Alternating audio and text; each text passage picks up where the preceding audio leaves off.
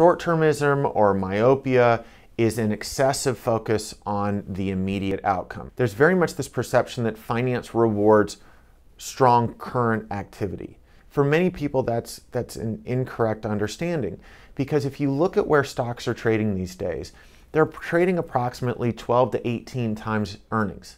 In other words, the stock price is a multiple of current earnings by a factor of 12 to 18. What does that mean?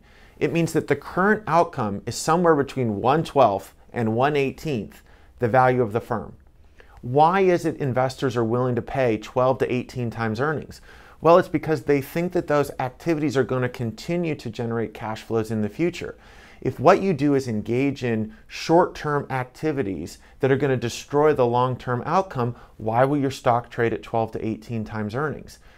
Investors will only investors will only be willing to continue to buy those shares if they think that the actions are not only going to continue but are going to improve.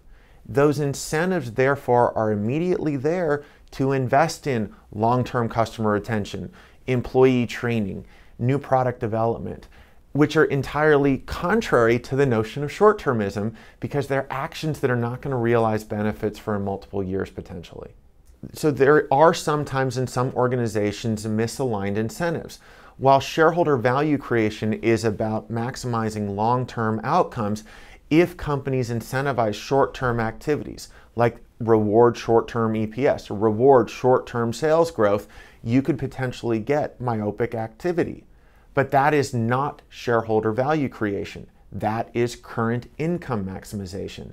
And there's very much a disconnect sometimes in the media about the difference between maximizing current income and maximizing the long term value for shareholders.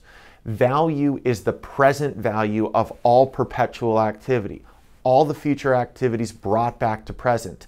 That's very different from maximizing the current outcome.